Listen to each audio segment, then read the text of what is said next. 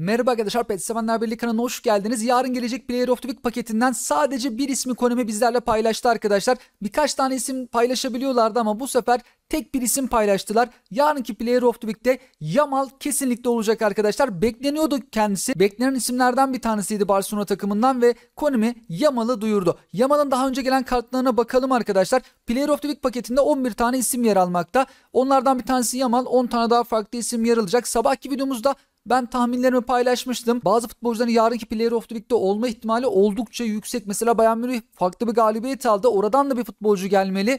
O da Harry Kane gibi gözüküyor arkadaşlar. Ki Bayern Münih dün de çok farklı galibiyet aldı. İleride Şampiyonlar Ligi Player of the Week'i gelecektir muhakkak. Yamal'ın bu kartı 98 seviyeye kadar çıkıyordu. Minimum böyle olacaktır. Yamal'da bir tane güçlendirici var. Fakat Player of the Week kartlarında iki tane güçlendirici yuvası bulunmuyor. İkinci bir güçlendirici basamıyoruz. Keşke bir tane daha burada olsaydı belki bir rastgele basabilirdik. Yamal'ın bu kartındaki özelliklerine baktığımızda hız hızlanma değeri, top sürme, sıkı top tutma bunlar çok iyiydi arkadaşlar.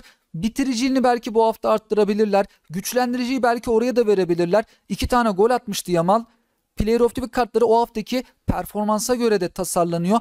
Farkındalığını, bitiriciliğini umarız yükseltirler. Çünkü bu kartında düşüktü. Hızlı top sürebiliyordu ama eksik yanları da fazlaydı. Yarınki gelecek kart Yamal'ın en güzel kartlarından bir tanesi olacaktır. Daha önce Showtime kartı gelmişti. Bir tane renkli kartı var. Şimdi ilk defa kendisinin Player of the Week kartı geliyor. Bu kartı örneğin 101 seviyeye kadar çıkıyormuş arkadaşlar. Şöyle baktığımız zaman pasları daha iyiydi az önceki kartına göre. Yarınki kartına ben bitiriciliğini arttırırlar diye düşünüyorum. Arttırmaları da gerek. Ha belki pasları çok yüksek olmayabilir ama en azından bu haftalık bitiriciliğini yükseltebilirler. Yarın gelecek paketten sadece bir ismi paylaştı Konami. Diğerleri için de sabahki videomuza isterseniz bakabilirsiniz arkadaşlar. Sizler de yorum ve görüşlerinizi bizlerle paylaşabilirsiniz. Hoşçakalın.